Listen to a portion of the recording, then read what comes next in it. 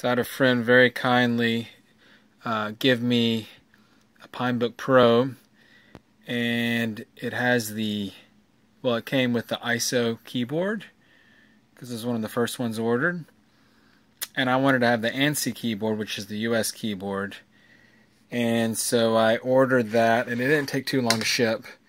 It was twenty dollars plus about ten dollars shipping.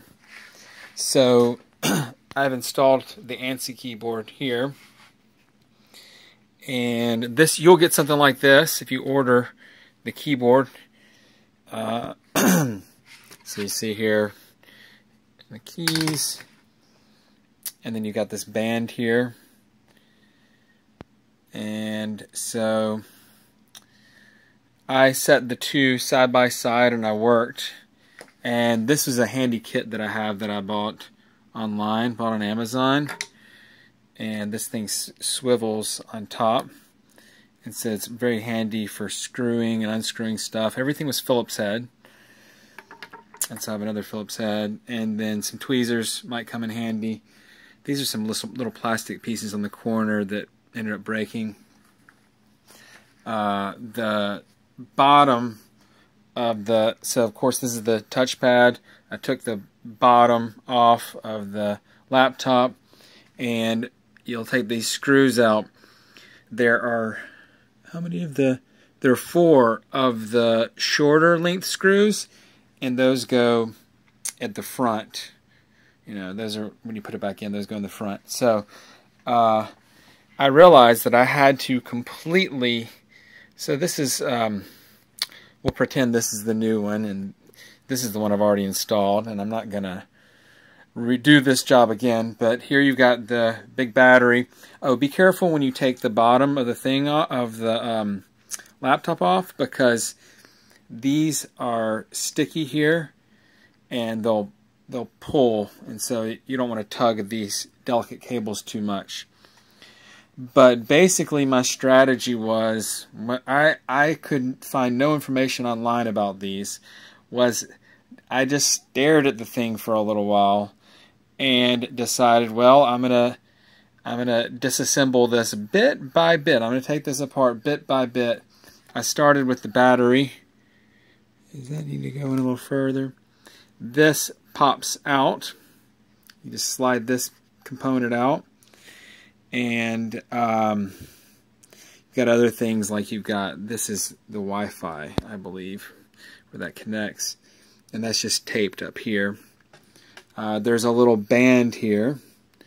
And so all of the other connectors, this connector, um, this connector here, the screen connector, this connector, which uh, you'll see here, this is this is it right here, and this just folds over, and it comes with adhesive, and look how this is. Um, so basically, all of these connectors, this connector to the touchpad here, um, I didn't know this, and this tripped me up for a while. Maybe this is a very noob thing.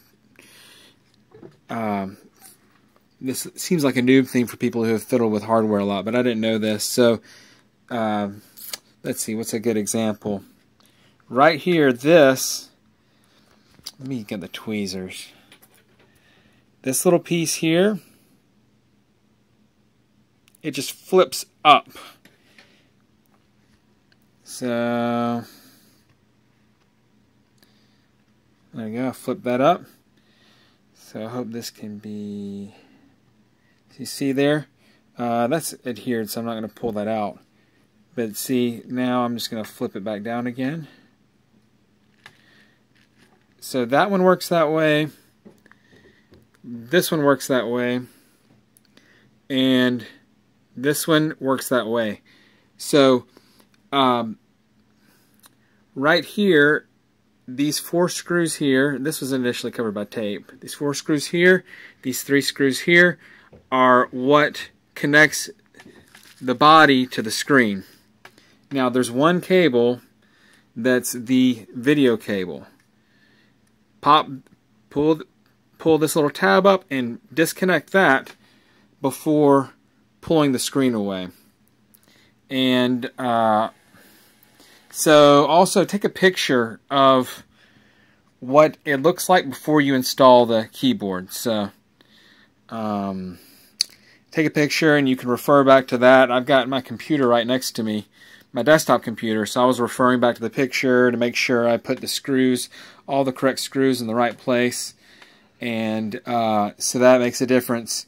And just a little tip, do everything very carefully because is you'll pull something out and it'll tug at something else. Um, and so never always look at all angles before you move anything because you don't want to tug one of these delicate wires. Uh, but basically, you just remove each component bit by bit and put them in a clean spot and then you just install it in the correct place. That's pretty much all there is to it.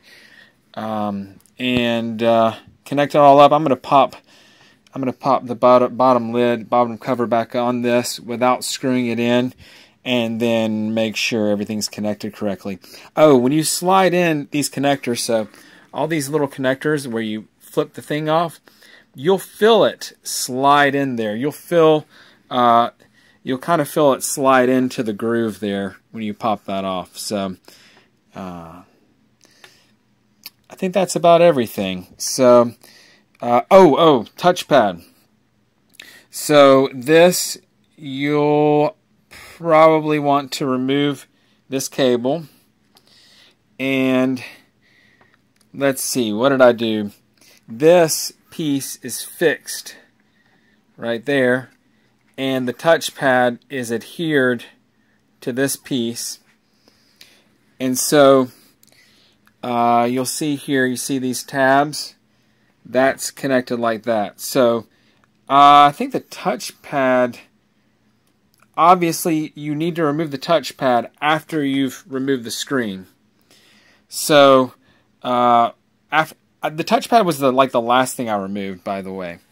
And so you can just um, work this thing where you get these tabs out. How did I do it? I removed I kind of got on both sides and I very gently, um, anyways, I kind of finagled I think I gently kind of rem removed this from the adhesive. This is adhered here. Kind of pried that away.